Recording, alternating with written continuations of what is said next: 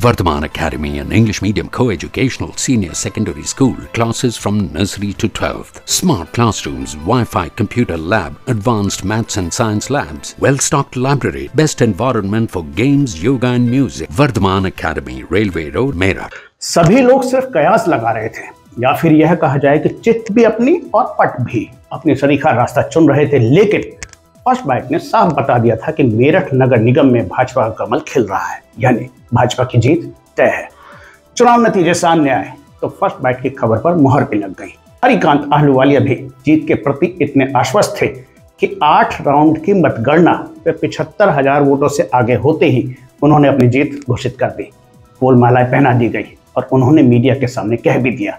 यह जीत पार्टी कार्यकर्ताओं वे भाजपा की कार्यशैली से प्रभावित होकर मतदाताओं ने दी है।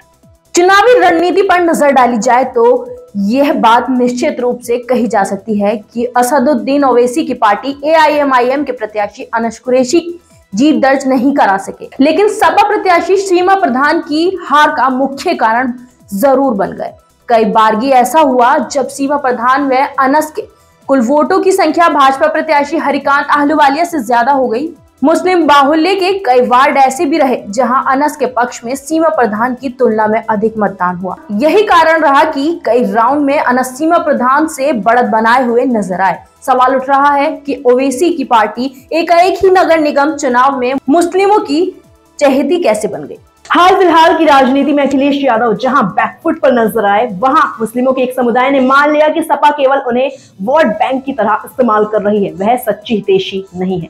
खास तौर पर तब जबकि अतीक अहमद हत्याकांड हुआ। इस हत्याकांड ने मुस्लिम वर्ग को एक बार की सोचने पर विवश कर डाला। आज़म खान की फजीहत और उस फजीहत पर अखिलेश यादव की चुप्पी, या यूँ कहा जाए कि कोई स्टैंड ना लेना भी मुस्लिम के गले नहीं उतर रहा है।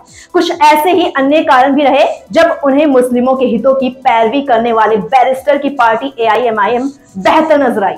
इसके अलावा सपा मुखिया अखिलेश यादव ने मेरठ में रोड शो ज़रूर किया, लेकिन वह गुटबाजी को खत्म नहीं कर पाए। यह रोड शो भी मुस्लिम बाहुल्य इलाकों में ही केंद्रित रहा। हिंदू इलाकों से अखिलेश ने भी परहेज किया। तभी इस पर तीखी प्रतिक्रिया करते हुए राज्यसभा सदस्य डॉक्टर लक्ष्मीकांत वाजपेयी ने तंज किया कि क्या अखिलेश जी को सिर्फ़ मुस्लिम वोट ही चाहिए, हिंदुओं की नहीं? अब बात करते हैं भाजपा प्रत्याशी हरिकांत अहलुवालिया की जीत की। प्रत्याशियों के नामों की घोषणा के बाद जो समीकरण बने उसने हिंदू मतदाताओं को एकजुट होने के लिए बाध्य कर दिया।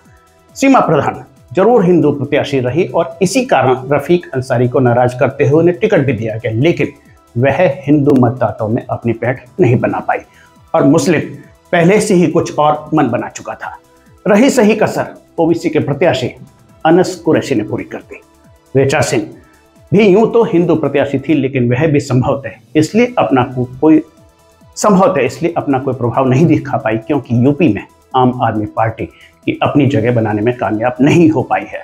सपा को छोड़ सभी राजनीतिक दलों ने मुस्लिम चेहरे पर दांव लगाया और ऐसे में हरिकांत एकमात्र हिंदू चेहरे के रूप में मतदाताओं के सामने उभर कर सामने आए इसके अलावा भाजपा के दिग्गजों का सभी गिले शिकवा भुलाकर मैदान में कूदना भी हरिकांत के काम आया।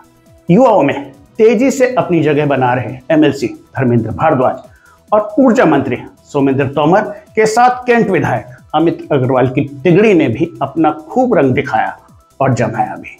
इस राजनीतिक विश्लेषण पर अपनी प्रतिक्रिया ज़रूर दीजिएगा। नमस्कार।